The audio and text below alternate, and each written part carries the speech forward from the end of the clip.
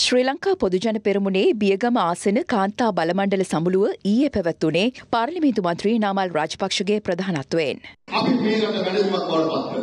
දැන් මහින්ද රාජපක්ෂ යුගයේ මේ පත්වෙච්ච වැඩිම නැවත වතාවක් ග්‍රාමීය ආර්ථිකයේ සිට කොළඹ පොත්සිටියක දක්වා සංවර්ධනය කිරීමේ වැඩපිළිවෙල අපි ආරම්භ කරනවා. එසේද අවශ්‍ය දැක්ම අපි ගාව තියෙනවා. එසේද අවශ්‍ය නායකත්වය අපි ගාව තියෙනවා. අපි කොහොමද දේශපාලනය තුළ දේශපාලනය කරන්නේ නැහැ අපි මැතිවරණය මැතිවරණයට හතු පිපෙනා වගේ ස්පොන්සර් වල දේශපාලන බලවේගයක අපි මෙරටේ මහ පොළොව හඳුනගත්ත දේශපාලන බලවේගයක්.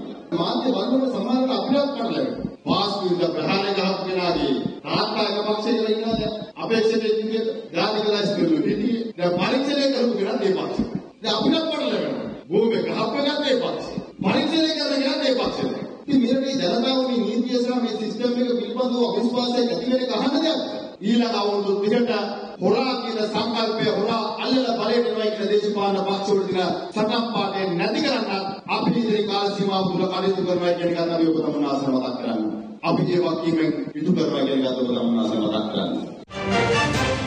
රටේ ලෝකෙ සිදුවන උණුසුම් පුවත් දැනගන්න සියත නිවස් YouTube channel එක අදම subscribe කරන්න.